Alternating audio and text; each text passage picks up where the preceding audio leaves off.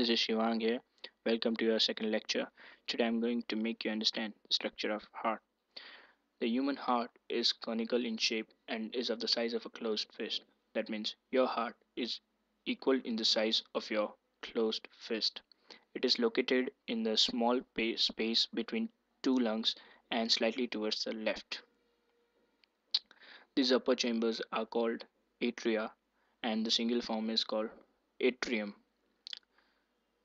this is called right atrium.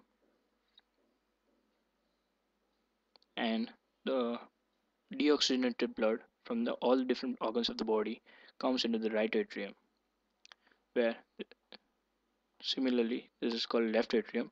Actually it's not left atrium. I was a little bit nervous while labeling this. So left atrium is little bit upward as the you can see on the right side. This i'm uh, this is called right ventricle this lower chamber. The right lower chamber is called right ventricle and the left lower chamber is called left ventricle. The walls of the ventricles are thick as it has to pump the blood to all the different parts of the body. And the walls of the atriums are thin. Now let's talk about these walls this wall is called tricuspid valves, which separates the right atrium from the right ventricle. And this is called bicuspid valve, which separates the left atrium from the left ventricle. Now, this is the wall which separates the right chambers from the left chambers this wall is called septum. It is because the oxygenated blood and deoxygenated blood does not mix. Okay, let's talk about the blood vessels. This is called aorta, the largest artery of the body. And this is superior vena cava, from where the deoxygenated blood enters to the right atrium.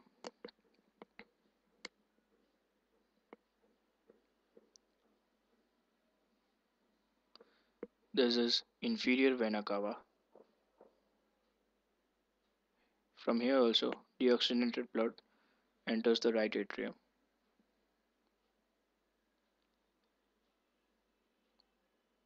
Okay. Now, uh,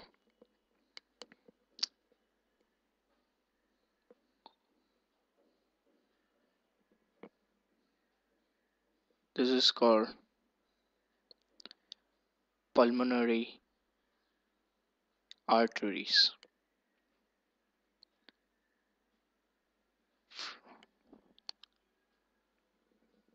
This pulmonary arteries carries deoxygenated blood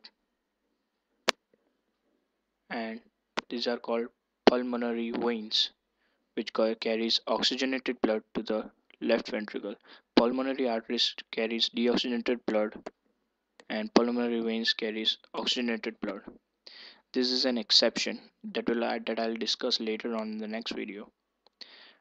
But this is all about the structure of heart.